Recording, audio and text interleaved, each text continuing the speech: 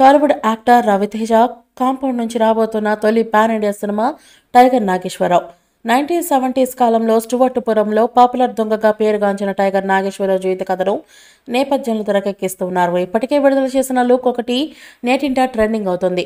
ఈ లుక్లో ట్రాక్ పై కనిపించిన రవితేజ ఫస్ట్ లుక్లో ఈసారి ఏకంగా రైలుపై ఉండటం చూడొచ్చు. అక్టోబర్ ఇరవైన టైగర్ నాగేశ్వరరావు వేట షురు కాబోతుంది అంటూ లాంచ్ చేసిన లుక్ ఆన్లైన్లో హల్చల్ చేస్తోంది.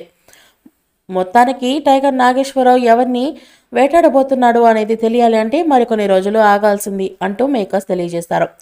వంశీ దర్శకత్వం వహిస్తున్న టైగర్ నాగేశ్వరరావులో బాలీవుడ్ బ్యూటీ కృతి సన్నన్ సోదరి నపూర్ సన్నన్ హీరోయిన్గా నటిస్తున్నారు. నపూర్ సన్నన్ ఈ మూవీతో టాలీవుడ్కి ఎంట్రీ ఇస్తున్నారు. రేణు దేశాయి హేమలత లవణం పాత్రలో నటిస్తూ ఉన్నారు.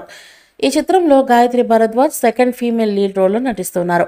అభిషేక్ అగర్వాల్ నిర్మిస్తున్న ఈ చిత్రంలో బాలీవుడ్ దర్శక నిర్మాత నటుడు అనుపమ్ ఖేర్ కీలక పాత్ర పోషిస్తున్నారు. ఈ చిత్రానికి జీవి ప్రకాష్ కుమార్ సంగీతం అందిస్తున్నారు. చూశారు కదా ఈ వీడియో కనుక మీకు నచ్చినట్లయితే లైక్ చేయండి షేర్ చేయండి కామెంట్ చేయండి. మరిన్ని అప్డేట్స్ కోసం మన ఛానల్ని సబ్స్క్రైబ్ చేసుకోండి అబ్బా. అలాగే పక్కనే ఉన్న గంట సింబల్ కూడా గట్టిగా కొట్టండి. మీరు మర్చిపోయినా మేము మర్చిపోం.